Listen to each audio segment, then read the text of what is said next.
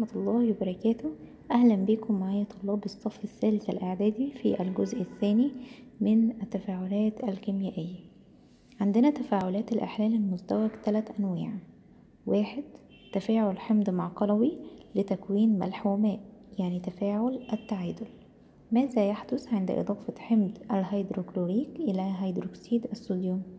يتفاعل حمض الهيدروكلوريك مع هيدروكسيد الصوديوم مكونا محلول كلوريد الصوديوم يعني ملح كلوريد الصوديوم زائد ماء.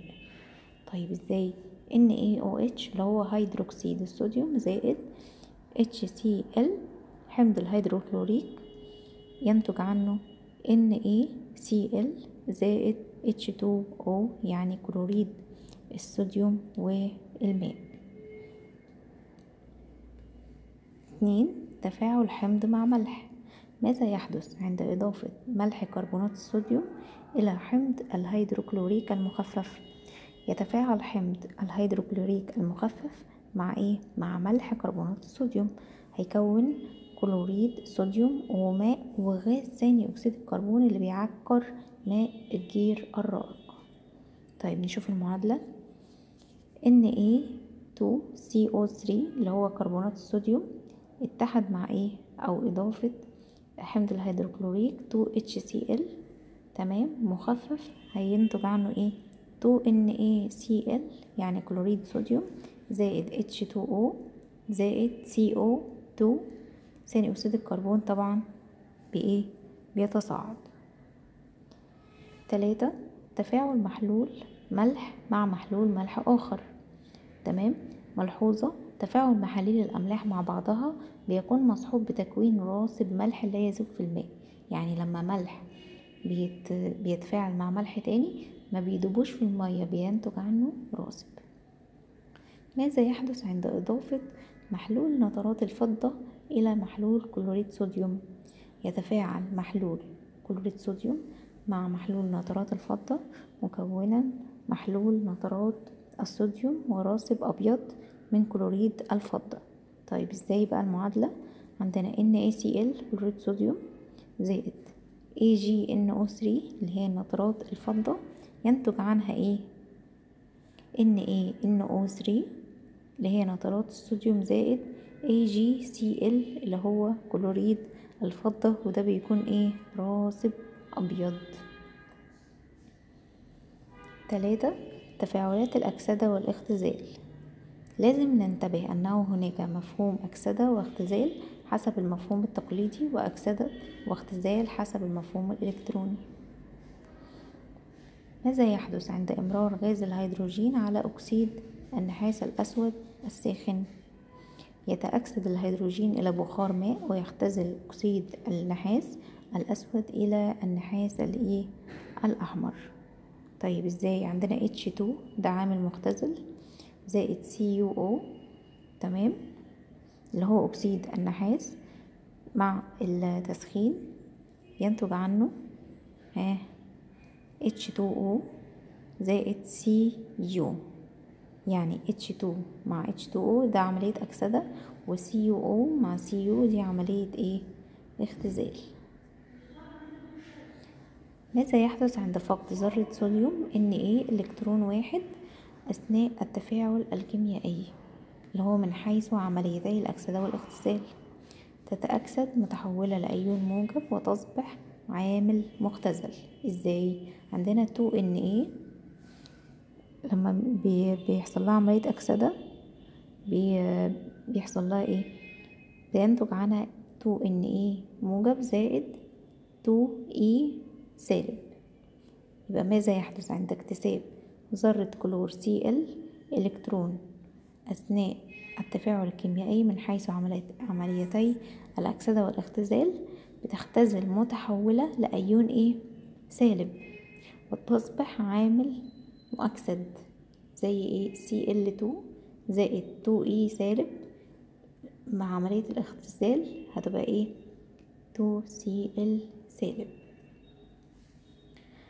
من الشكل المقابل ما لون المادة في كل من الأنبوبتين قبل وبعد التفاعل. اتنين ما اسم الغاز المتصاعد وكيف يتم الكشف عنه؟ طبعا عندنا قبل التفاعل لون نترات الصوديوم بيكون أبيض. بعد التفاعل بيكون إيه؟ أبيض مصفر. طيب لون أكسيد الزئبق بيكون أحمر وبعد التفاعل فضي اللون. طيب اسم الغاز المتصاعد غاز الأكسجين. ويمكن الكشف عنه بتقريب عود ثقاب مشتعل فيزداد إيه؟ أشتعاله. تمام؟ زي ما كنا بنقول إن الأكسجين لا يشتعل ولكنه يساعد على الإشتعال.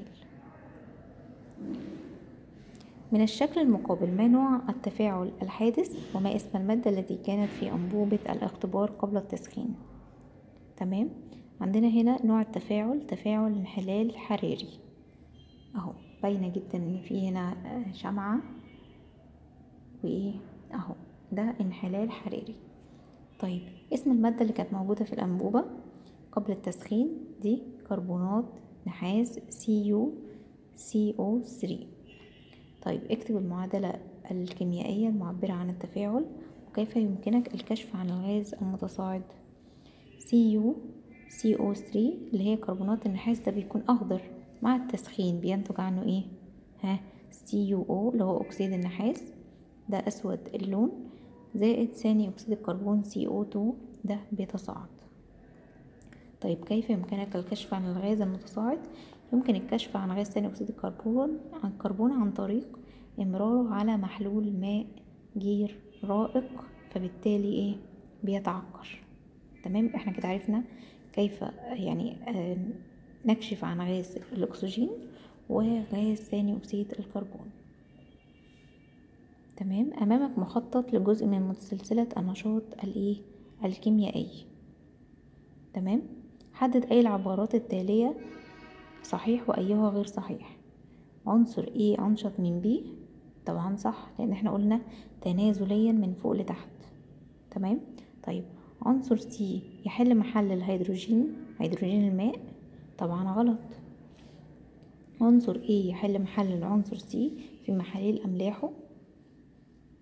غلط. العنصر B يحل محل هيدروجين الأحماض المخففة؟ ها طبعا أكيد كلكم عارفين. طيب ما أثر الحرارة على كل من أكسيد المادة دي وهيدروكسيد المادة سي مم. تمام يحل أكسيد المادة دي بالحرارة إلى المادة دي ويتصاعد غاز الأكسجين. تمام؟ آه ينحل هيدروكسيد المادة سي بالحرارة إلى أكسيد المادة سي ويتصاعد بخار الماء. طيب في سؤال صح وغلط قلنا عنصر A أنشط من B صح.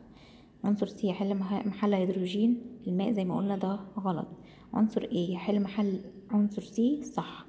عنصر B يحل محل هيدروجين الأحماض المخففة. طبعا زي ما إحنا عارفين ها صح.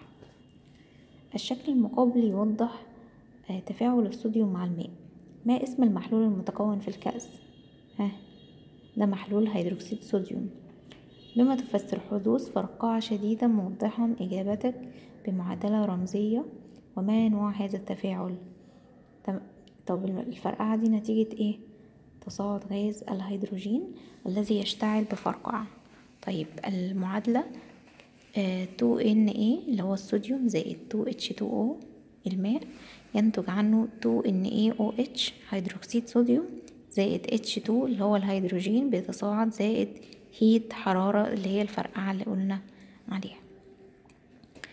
نوع هذا التفاعل تفاعل إحلال بسيط يعني إحلال فلز محل هيدروجين الماء.